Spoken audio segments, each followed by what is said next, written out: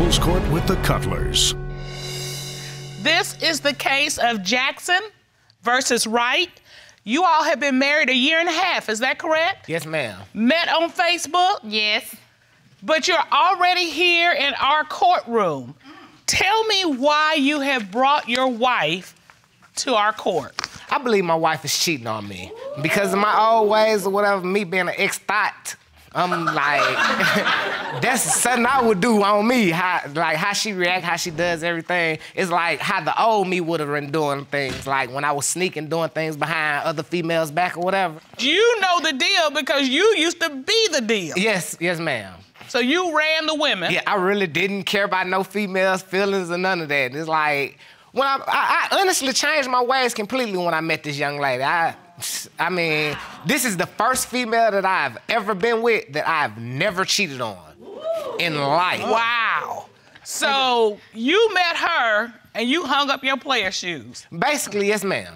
All right, so what kind of game did you bring to that the player said I'm I'm out? I showed him something different. Oh, I guess she did. She did that. All right, so you all meet on Facebook. How did you go from just uh, online to actual meeting? Our first date was very interesting. Like I say, I was a thought. I had two Facebook accounts at the time. Both of them with my real, with my government name, Marquivus Rodriguez Cortez Jackson. I know. right? That is a but- mouthful. I Yeah, yeah. But on this page, I had I was in a relationship with one girl, and on this page, I was in a relationship with another girl. But we had me and her had just started talking. So she was my real life girlfriend. All right. Our first date, we're we're gassing up, getting ready to go to the movies or whatever, and I see one of my Facebook girlfriends. So I introduced them. Like you want to introduce me to a Facebook girlfriend. I introduced them like Alicia. This is my Facebook girlfriend. Facebook girlfriend. This is my real life girlfriend. So you just, because that's You how the, just that's how the thoughts feel. proud of it. It wasn't. It wasn't that I was proud of it or whatever because a Facebook girlfriend. That was nothing. I mean, that's why I introduced her as my real life girlfriend. This was the first person that I was feeling. How did you tame this player? There are women out there who need to know what you did.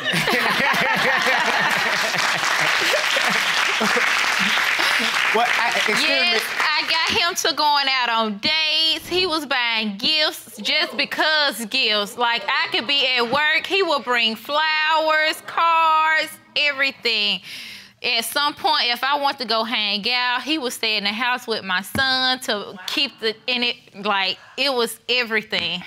All right. So woman to woman, you held the goodies, didn't you? Yeah. There you go. I, let me just say that louder so the world can hear. You held the goodies. Yeah. What, And when you held the goodies, he was chasing you. Yeah. All right, there's a lesson, ladies. What's there's the a lesson? lesson. What's The the lesson, the Hey, lesson, love. Because the fellas want to know too. What's Hey, the lesson? excuse me. the men want to chase, Uh-huh. and they don't want you to just give in. They want to chase you a little bit. Women give in too soon. It's just what your mama taught you. Hold up. Make them wait for it. Make them earn it. Excuse me. Excuse me, Your Honor. Can I say something? All right. Of course. Even after the fact that she held the goodies, when I got the goodies, that that still continued. It wasn't just her. It was in me. You was Yeah, well, stuck. It's what I wanted to do. She had a hook in you. Yeah. She just like. But you were out there. I mean, I mean, yeah. I you, mean, you were thoughtolicious. You were out there. Thoughtalicious. I like that one. yeah, you thoughtolicious. and this woman comes by and says, "No, you got to earn my respect. You got to earn me." I mean, I let her know how I was. I let her know my past. I mean, it wasn't no secrets. I told her about me doing this and that to this female, that female, whatever. And it's like, it wasn't the fact that she was okay with it. It's just the fact that she was okay with the fact that that was the past. And so you did a, a complete turnaround. Yes, sir. And you said this is the first woman that you've never cheated on. Never cheated on. I've been But- tempted, but temptation, you, uh, you been married, what, 20, 20 plus 28 years? 28 years we've been 20 married. plus years. Yeah. You, you know temptation is a mug, but... Temptation's it- out there. It take a strong person to fight that temptation. And you A very- fought it. And I feel like I'm You've a very never cheated on her. Because I can, I, I fought it and I'm still fighting it to this day. Mm-hmm. All right. But now you're worried that the game is being played on oh, you. Yes, sir. All right. Now, what are the warning signs? The warning signs, all right, like how secretive she is with her phone. Me seeing her texting all day, I'm looking at your phone, ain't nothing there. And like, okay, random numbers will pop up. She'll, I don't know who that is, or that ain't nothing, it's nobody. And I'm like, okay, if this nobody, then who is it or whatever. One time, um, this random number that came up, I asked her about the number. She didn't know who it was at that time. So a few months go by, the number show back up. I type the number in Facebook. The name pops up. Okay, she said, oh, that's her ex-boyfriend. But at first you ain't know who this was. I mean, this person texting you behind my back, you gotta text and erase everything that you talk about. It's something more than just how you doing and all that. All right, Ms. Wright, he says he knows the cheating playbook and you're running it. I'm not. Yeah, I did. I was texting him, but it wasn't nothing. We were just catching up old times and everything, but it wasn't nothing like we was trying to get back together or anything. This shouldn't be present, past, future, or nothing. He shouldn't come up, point blank, period. Okay, so let me ask you something. This is an ex-boyfriend, Yes. and you're having continuing conversation with him, texting. Yes, ma'am. Do you call him? Yes. Does he call you? Yes. Does he text you back? Yes. Okay, I'm a married woman. Mm-hmm. You a married woman. Yes, ma'am. That's not how you should be dealing with men. That's not in the marriage playbook. Okay. One more incident about the signs of her cheating. Yes, like, sir. Okay, this is recently. It's a thing called the September Festival. We we chill all that night. At two o'clock in the morning, she tell me me and my cousin about to go to the club. At first, I was like, why couldn't I go? Then I said, okay, whatever. I'm just gonna I'm gonna do that. All right, I'm gonna let you go. You go with your cousin. I rolled off, but I come back. Her cousin's pulling off. She's not in the car. This being my wife, I'm suspicious. Plus, I called her. I constantly call. No answer. Couple hours later, she texts me, asks me where I'm at. Now it's two o'clock when she got when she left me. These booty call hours. Like, what's up with this? Why you couldn't answer the phone when I called you? Cause I was loud music, everything. Loud, All right. music, everything. But All right, Miss Wright. At 2 a.m. when you go into the club, you told him you were going with your cousin. Did you go to the club with your cousin? Yes. All right. How did you end up not with your cousin? I was with my cousin. He Okay, saw your cousin drive off without, Without you. Yeah. I was with, well, I was with my cousin and I got dropped off with my friend. With a friend, Okay. that, a friend that Oh, she said wait, I wait, should wait, wait, hold on. Girlfriend, girlfriend. I got dropped off with my girlfriend that was in town.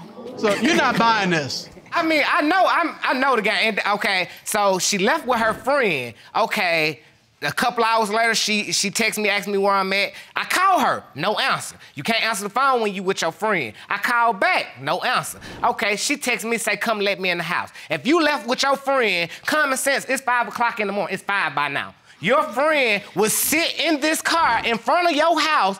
Make sure you sit here so you can get in the house. So you believe she a man drove up and she couldn't have Yeah. you come out. I honestly do. And you believe that she was at the club with somebody other than her I, I don't- friend. I don't even believe she was at the club. I went to the club. you went to the club and I, didn't see I her. wasted some money that I could have kept in my pocket if she would have answered the phone and been honest. Miss Wright, were you with a man or were you with your friends? My friend. Okay, but I can't even believe that. You Wait, wait, looking off wait. to the side like I'm gonna ask you again. You're here to tell the truth. Were you with a man or a woman? Oh man. So you were with a man. Yes. You weren't with your cousin. No. You weren't with a female friend. no. You were with a man. yes. Was this an ex-boyfriend? No. Why did you tell your husband who you were with? I just didn't want him to know where I was. So here's the deal. Was this a man you had been intimate with? No. Ever? No. What what you got to hide? I don't got to hide nothing. You clearly do. If you didn't tell him, hey, my friend is in town, I'm going to the club with him. I, I gotta say, my Mr. Cutler, can I do that? Can I go to the club with my friend? Your female friend? Sure. No, no, no. You know, just a friend. He's a guy. He says he's just a friend. He says he's just a friend. Wait a minute. stop. I mean, would you be comfortable with that? If it's somebody I know, if it's a friend that I know of, You let me go to the club with him at two? yeah, not at two in the morning. I, I'm not sure. Nothing's open at two o'clock in the morning except when it's supposed to be open. All right, now, Miss Wright, the evidence is mounting up. You've got these Facebook messages text messages. You're lying about going to the club. You're lying about being with your cousin. You're not cheating on Mr. Jackson. No, I'm not. You're not sleeping with other men. No, I'm not. This is all in his head. All in his head. So these are just accusations. Yes. Well, to better understand what it's like to be accused of being a cheater, we have a friend of the court here, Ms. Lisa Wu, a former housewife of Atlanta. Rod, would you please escort our next witness in? Yes, Sean. Hello.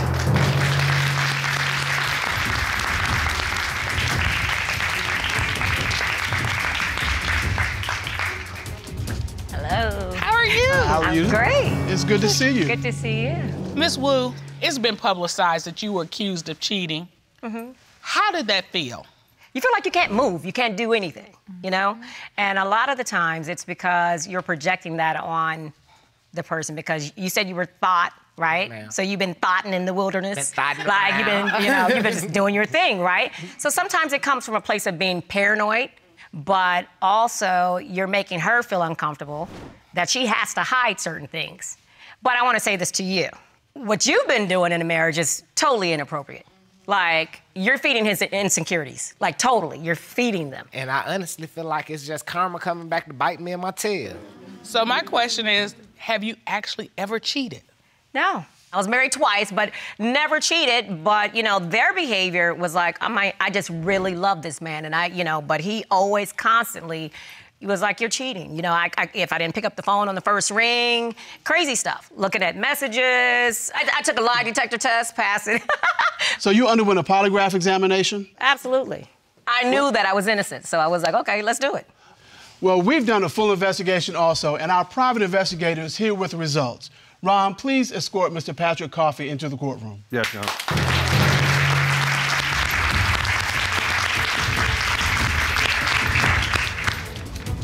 Mr. Coffey, how are you? I'm doing great. Good. Tell us what you've done to investigate today's case. A member of our team conducted a full forensic analysis of Miss Wright's phone. So what did you find? On the day in question when Miss Wright disappeared, we recovered her phone log. As you can see, she missed a total of 64 calls that day from her husband. 64 calls in one day from her husband? Yes, sir. And this is the night you were w- she was with a guy other than her husband. That is the day in question, Your Honor. Yes. How, Miss Wright, do you have your husband call you 64 times and not pick up the phone? And you're with another man. I don't know. What were you doing with this other man that you had your husband call you 64 times?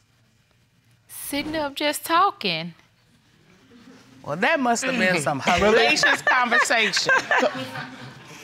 Mr. Jackson, you're shaking your head. Have you ever ignored phone calls when of you're course. with woman another A when woman, someone of else is course. trying I to got call my phone you? on airplane mode if I'm with another woman. I mean, I'm not gonna even get them calls. All right, if you found out your wife was with another man, having sex, then what? I mean, we got married for a reason, but at the same time, I'm nobody fool. I love her with all my heart. I'm in Okay. love with her. But I'm not finna sit up and be stupid. All right. Well, she submitted to a polygraph test, and we're going to find out what happened. Now, you're looking awfully worried. This man loves you. He has turned his life around for you. And if you've got something you've done, the only way you might have a chance, if you love him, to continue this is to tell the truth right now. Do you have something you need to say to your husband? Well, Do you have something you need to say to your husband? well, no, because I, I like I said, I was with him, but then nothing happened. So the only thing, and you sticking to this story, as bad as it looks, is that y'all just sat around and talked and caught up. That's it.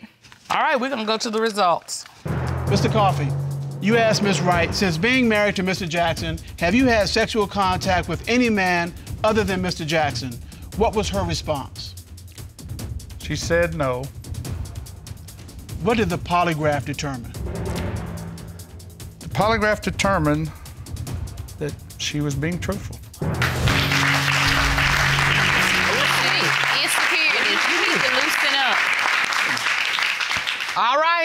You came here for answers. Well, I knew I wasn't doing nothing. I told him that I was just talking. That's it. All right. I mean, but what you talking about that you can't talk about with me? I mean, why? Um, let me jump in and ride with y'all. You can. you could have. Okay, Miss Wright, I am so glad that you were telling the truth about those things. I really am.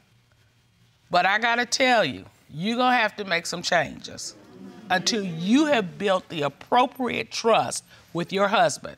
And frankly, Mr. Jackson, you're getting your comeuppance. Yes, ma'am. What you've done in the past don't feel so good, does it? No, it don't. I, All right. Those skeletons are rattling in the closet. You can hear them. but you can't allow your past and your suspicious nature to impact your current relationship, your current marriage with her. yes, sir. We have counseling available for you. We want you to take advantage of those resources. And as we say in this courtroom, don't cheat yourself out of a chance for a good relationship. Yes, sir. Court is adjourned.